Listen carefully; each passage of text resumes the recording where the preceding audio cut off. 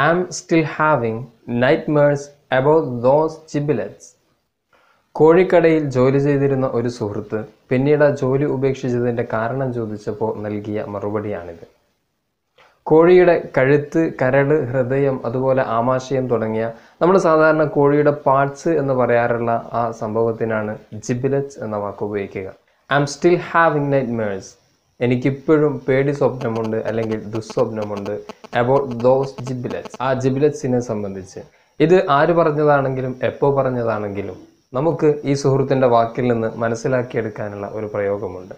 Am having I am എന്നുള്ളത് എന്താണെന്ന് നമുക്കറിയാം.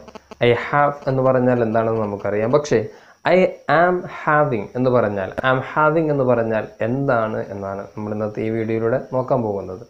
എന്താണ് am having it's very easy ഒരു ഓൺഗോയിങ് ആക്ഷനെയാണ് ഈ പദം സൂചിപ്പിക്കുന്നത്. അതായത് ഇപ്പോഴും തുടർന്നുകൊണ്ടിരിക്കുന്ന ഒരു കാര്യത്തെയാണ് ഈ ഒരു പ്രയോഗത്തിലൂടെ ഉദ്ദേശിക്കുന്നത്. രണ്ട് ഉദാഹരണങ്ങൾ പറഞ്ഞുകൊണ്ട് വളരെ കൃത്യമായിട്ട് നമുക്കിതിനെ മനസ്സിലാക്കാം. ഒന്നാമത്തെ ഉദാഹരണം ഇതാണ്. I have anxiety I am having anxiety എന്താണ് ഇവ തമ്മിലുള്ള വ്യത്യാസം?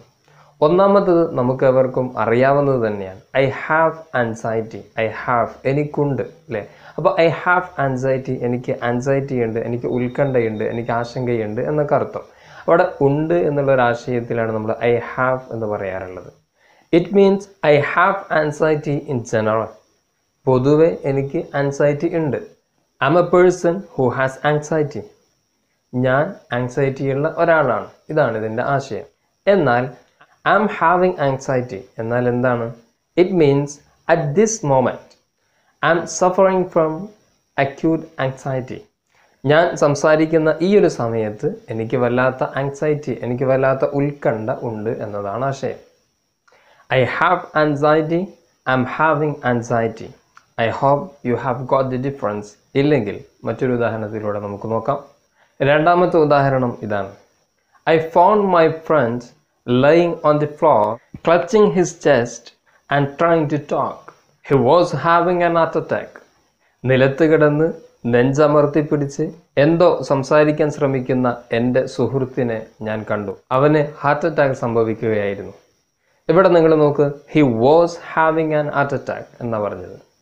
It was an ongoing action ഞാൻ അവനെ കണ്ട സമയത്ത് നടന്നുകൊണ്ടിരിക്കുന്ന ഒരു കാര്യമായിരുന്നു അത്. എന്നാൽ നിങ്ങൾ ഈ ഒരു ഉദാഹരണം നോക്കൂ. My friend had a heart attack yesterday ഇന്നലെ എന്റെ സുഹൃത്തിന് ഒരു ഹാർട്ട് അറ്റാക്ക് ഉണ്ടായിരുന്നു. ഇവിടെ ഹാഡ് അഥവാ ഉണ്ടായിരുന്നു അഥവാ ഇന്നലെ കഴിഞ്ഞതാണ് ഇറ്റ്സ് എ കംപ്ലീറ്റഡ് ആക്ഷൻ അതുകൊണ്ടാണ് ഹാഡ് എന്ന് പറഞ്ഞത് ഉണ്ടായിരുന്നു.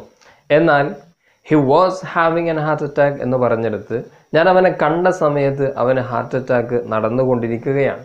ആ ഒരു കാര്യം സംഭവിച്ചു കൊണ്ടിരിക്കുകയായിരുന്നു അതുകൊണ്ടാണ് അവിടെ വാസ് ഹാവിങ് എന്ന് പറഞ്ഞത്.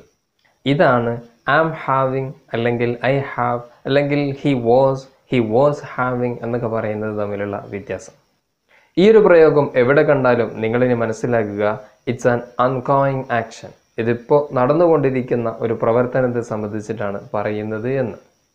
ഇനി ഈ ഒരു പദം എവിടെയൊക്കെ ഉപയോഗിക്കാം എന്നുള്ളതിനെ സംബന്ധിച്ച് കൂടുതലായിട്ട് ഞാൻ പറയുന്നില്ല. നിങ്ങൾക്കത് ഡിസ്ക്രിപ്ഷനിൽ അതിന്റെ ഡീറ്റെയിൽസ് നിങ്ങൾക്ക് ലഭിക്കും. യു ക്യാൻ ചെക്ക് ഇറ്റ് ഇതുപോലുള്ള ഇംഗ്ലീഷ് പഠനവുമായി ബന്ധപ്പെട്ട മറ്റ് ക്ലാസ്സുകൾ നിങ്ങൾക്ക് ലഭിക്കാൻ ചാനൽ സബ്സ്ക്രൈബ് ചെയ്യുക. മറ്റൊരു വീഡിയോയിൽ ഇംഗ്ലീഷ് റിലേറ്റഡ് ആയിട്ടുള്ള മറ്റു ചില കാര്യങ്ങളുമായിട്ട് നമുക്ക്